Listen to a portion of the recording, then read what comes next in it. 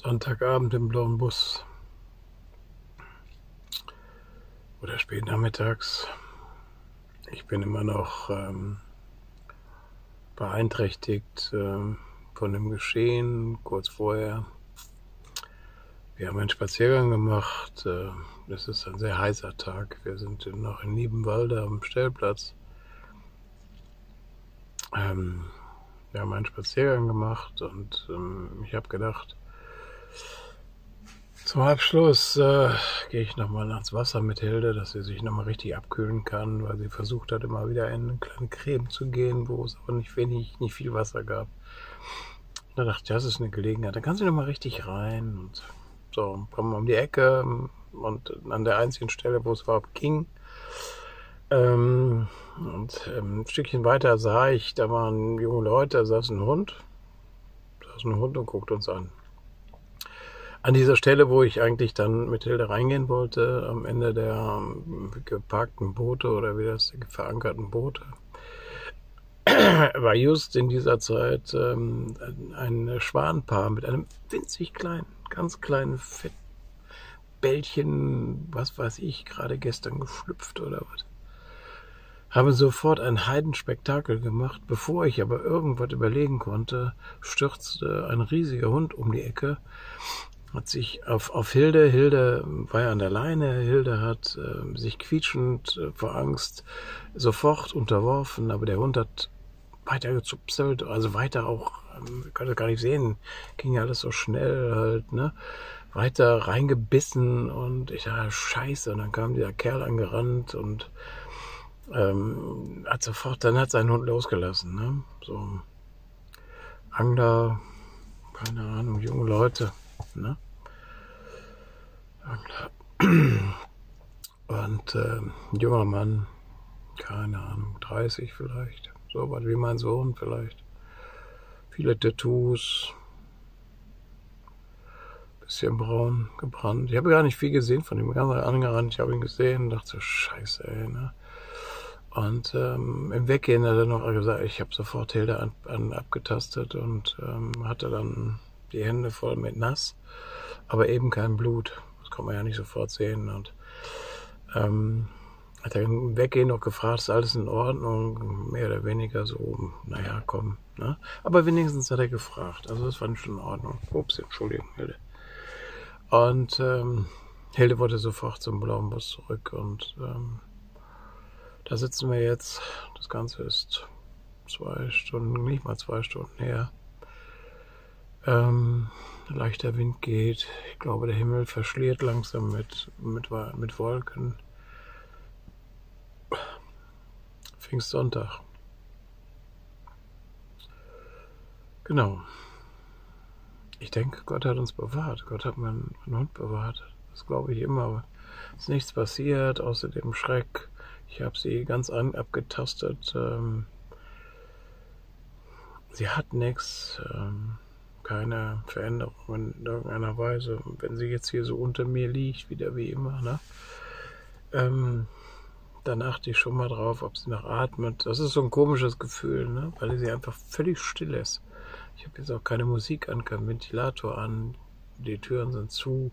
Es ist also total still im Bus und wenn ich dann auch nichts sage, dann muss ich manchmal runtergucken, ist noch alles in Ordnung oder ich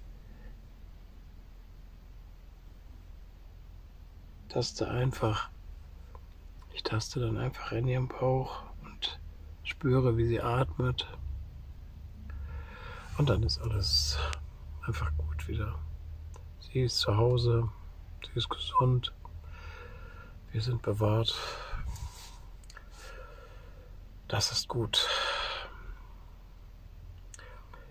Was täte ich ohne Gott? Das ist hier kein, kein Bibelkurs. Aber ihr wisst, dass ich da offen drüber rede und was täte ich ohne Gott? Das denke ich immer wieder. Gott ähm, bewahrt uns, Gott gibt uns tolle Stellplätze, wunderbare Begegnungen mit anderen Menschen. Im Grunde ist uns ja bis auf einige dieser furchtbaren Schrecksekunden, die auch in meinem Leben waren, dass ich die Lungenthrombose hatte, ähm, nichts passiert in den sieben Jahren, in den sechs Jahren, die wir jetzt unterwegs sind. Also 27. Juni, also in knapp 20 Tagen, beenden wir das sechste Reisejahr und äh, gehen ins siebte. Wahnsinn. Genau, heute mache ich es mal mit den Geschichten ein bisschen wilder. Ich fange mit einer Geschichte 2018 an, die den äh, Titel trägt, also die Geschichten in den Büchern äh, tragen alle Titel. Ähm, wenn ich also ähm, ein, ähm, ein drittes Buch jetzt angehe, dann muss ich allen 365 Geschichten, die in dieses dritte Buch passen, ebenfalls Titel geben. Das heißt, ich lese sie alle nochmal durch, damit ich weiß, was da drin steht, und dann gebe ich ihnen einen Titel. Und bei dem Video machen wir, mache ich halt eben aus allem dreien einen Titel der nicht immer so ganz mit allen Geschichten konform geht oder nur so manche Sachen rausgreift. Oder auch mal so Tagessachen rausgreift. Mal sehen, was jetzt heute für ein Titel wird. Ich weiß das immer nicht. Mache ich am Ende den Titel. Auf dem Campingplatz findet das Jahrestreffen amerikanischer Straßenkreuzer-Fans statt. Einmal im Jahr ist es ziemlich laut an so einem Wochenende, sagt mir das Gärtnerpaar, das hier lebt und in der Nacht einen kurzen Trip nach Norwegen vor sich hat. Ähm, das ist der Stellplatz Glockenheide in Röttgesbüttel, wo man auch wohnen kann, sogar relativ günstig. Also auch im, im Wohnsitz wohnen kann. Sie haben einfach reduziert von 120 auf 12 Quadratmeter, um hier draußen leben zu können. Der Klavierlehrer mit der Zweitwohnung in der Stadt denkt schon länger darüber nach. Und einer, der mit Pferden zu tun hat, verbringt viel Zeit hier im Wald mit seinem Hund, manchmal eine Frau und ein kleines Kind an seiner Seite. Die Sonne verbrennt das Land, denke ich immer wieder auf den Spaziergängen. Das Licht ist in besonderer Weise grell und schmerzt in den Augen. Hilda hat einen anderen Gang eingelegt. Sie rennt ein paar trippelige Schritte voran und schnüffelt sich fest, den Kopf tief im Gras. Mir läuft der Schweiß perlend über den Nacken, unter dem Rucksack ins Hemd, unterm Hut in die Augen, brennt, und ich sehe nur noch verschwommen. Eigentlich kann ich gar nichts erkennen, weil das Licht so grell ist, dass es die Landschaft in sel seltsame Töne verwandelt, verwandelt, fast wie verbrannt. In einem Film über Afghanistan habe ich erstmalig eine solche unerwartete Farbkonstellation gesehen. Die bekannten Töne von Blau bis Gelb, Braun über Grün, aber eben völlig überzogen. Kein besonderer Glanz, lediglich eine Nuance heller und schärfer verschwommen in der Ferne zugleich. Eine Band mit zwei Männerstimmen und zwei Gitarren, guter Klang, nicht weit weg von mir, auf einer Wiese, umringt von den großen Autos in ihren warmen Farben. Manchmal höre ich eine menschliche Unruhe zwischen den Musikstücken oder einen tief brummenden Motor. Tom Petty und CCR habe ich erkannt. Viele schöne Stücke, die eine ausdrucksstarke Stimme brauchen. Sehr melodisch und melancholisch, verträumt, entspannend. Das ist Pretty Mellow, eine Gifhorner Band, die es, glaube ich, immer noch gibt. Wir haben einen stressigen Tag in der Stadt mit vielen Menschen, Hunden und Radfahrern um den Bus herum. Der Transport von Bierzeltgarnituren für Freunde hat Hilde völlig verunsichert. Dass sie nicht ins Holz gebissen hat vor Ärger. Ich konnte in einem Haus ein gutes Bad, ein gutes und heißes Bad nehmen. Und Hilde hat so tief und weit weg auf den kühlen Fliesen geschnarcht, dass sie erst aufgewacht ist, als sie schon längst hätte sich im Garten erleichtern müssen. Ist ganz verdattert und ich muss sie erst trocken reiben, bevor ich mich abtrocknen kann. Gleich wieder verschwitzt. Kleinen Wein getrunken und die Ruhe uns nicht nehmen lassen. Die Vögel sind schon eingeschlafen, aber vielleicht genießen sie auch, wie wir, das Konzert in ihrem Logenbus. Erinnert mich an ein Open-Air-Konzert 1972 in Germersheim. Tom Paxton spielt vor mehreren zehntausend Menschen und ich liege einige hundert Meter von der Bühne entfernt im hohen Gras und höre nur seinen Gesang, seine Gitarre ganz allein mit dem endlos weiten Horizont in meinem Herzen. Elvis Presley spielen die Jungs, und wenn ich die Gedanken laufen lasse, sind sie voller Erinnerungen. Der frühe Tod einer Freundin vor 30 Jahren haben wir nicht gedacht, dass Krebs so tödlich sein könnte. Aus dem Leben gerissen. Die Kirche voller Menschen, viele aus sozialen Brennpunkten, wo sie engelsgleich ihre Liebe ausgestreut hat mit einem Herzen voller Mitgefühl. Im Gang steht breitbeinig ein Freund, die Gitarre fast wie eine Waffe fest umklammert, scheinbar voller Sorge, dass die Trauer ihn umreißen könnte. Ihr Lieblingssong von Elvis Presley in the Ghetto uns ins Herz spielen, in die Seele, den Verstand, die Erinnerung treibend. Vergessen habe ich ihren Namen, kann nur noch verschwommen an ihr Gesicht, ihre Gestalt denken die blonden Haare, ihr Lachen, die Kirche, der junge Sänger. Axel, mit dem ich viele Jahre gearbeitet habe, an ihn erinnere ich mich noch. Wir haben nie mehr von ihr gesprochen, von der traurigen Feier, die sie zu, sie zu, sie zu Grabe tragen zu müssen. Es war, soweit ich weiß, das letzte Mal zu einer Beerdigung gegangen bin. Es gibt Dinge, die man vermeiden muss und andere, die ich leben kann. Noch ein, zwei Zugaben in der stillen, dunklen Nacht. Ich bin reich beschenkt worden, unerwartet und, mit, und voll mit hellen Lichtern in meinem Herzen. Der zweite Band, der sieht äh, nur so aus, weil ich den nur ständig benutze. Der zweite Band, Spaziergänge mit Hilde, endet mit einer Geschichte, die, ähm, die ich am 5. Juni 2019 geschrieben habe. Also der dritte Band würde wahrscheinlich dann mit einer Geschichte beginnen, die am 6. Juni 2019 entstanden ist.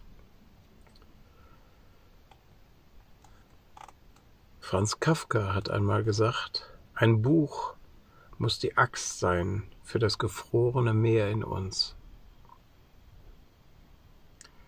Sitze wie die müde Variante von Henry Miller im Hemd vor der kleinen Ventilator im Bus und versuche, die verwirbelte Luft möglichst genau mit dem Gesicht abzufangen.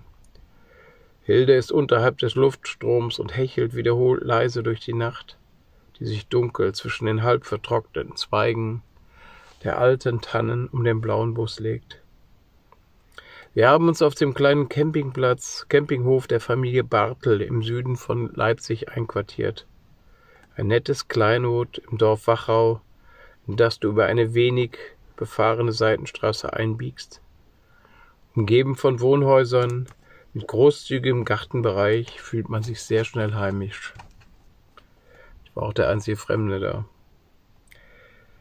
Gleich einem Halbmond bin ich in wenigen Tagen von der Hohwachter Bucht über Braunschweig und wieder nach Leipzig gefahren, um mal zu schauen, wie es in unserem Buch, wie es unserem Buch geht, an dem wir nunmehr zu fünft in einer freundschaftlichen Atmosphäre arbeiten.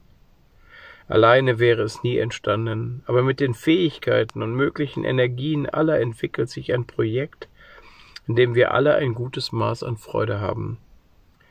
Wäre Arbeit immer so, dass sich alle dabei wohlfühlen, dann würden wir dem Traum einer erfüllten Welt, eine Lebens, eines lebenswerten Alltags sehr nahe kommen. Die Vision, meine Möglichkeiten im Austausch mit denen meiner Mitmenschen einzusetzen, wird sicherlich nicht in einem kapitalistischen System Zukunft haben. Aber das bedeutet nicht, dass wir es im Kleinen, im Zwischenmenschlichen nicht leben können. Hanna hat mir in Braunschweig einen wunderschönen Spaziergang geschenkt und Klaus einen Abend mit Gesprächen beim guten Wein. Den Mogli habe ich mal wieder gesehen und mich daran gefreut, dass er so viel Lust auf den Sommer hat. Mit all den Reisen und Begegnungen bis zum Wendlife-Horizont. Schaut mal auf seine Seite. Da finden sich vielleicht die ein oder andere gute Idee. die Seite im Facebook Markus Breitfeld Life of Baloo. Ich glaube, in der Zwischenzeit hat er noch so eine Van, Vanlife, Vanlust-Seite. Ähm, ja, also ich, ich ähm, gucke nicht alle Seiten, das habe ich auch gar nicht mehr, aber immer mal gucke ich auf seine Seite, wenn er irgendwas veröffentlicht. Auf Instagram gibt es, glaube ich, die Vendus-Seite. Da sehe ich immer mal, was er macht. Anselm Grün hat gesagt, lesend tauche, lesend tauche ich in andere Welten ein und vertraue mich den Erfahrungen und Einsichten anderer an. Steffi und Jessie habe ich am Markkleberger See kennen und schätzen gelernt.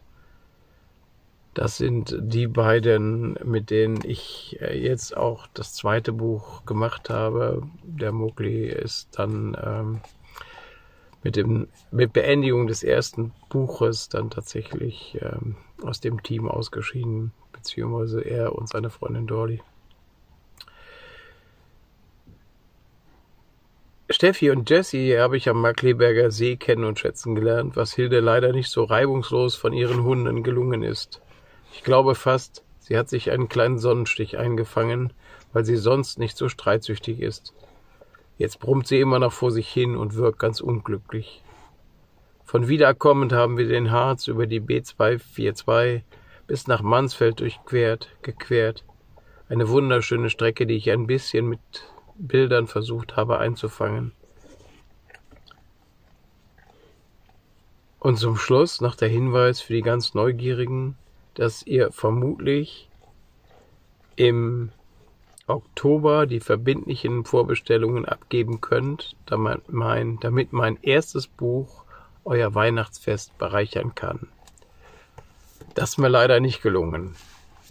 Ähm, das erste Buch ist ähm, also nicht im, muss mal kurz überlegen, Corona hin und her. Also das erste Buch ist nicht im Weihnachten 20 äh, 19 rausgekommen, sondern erst, äh, ich glaube, am 10. Januar 2020.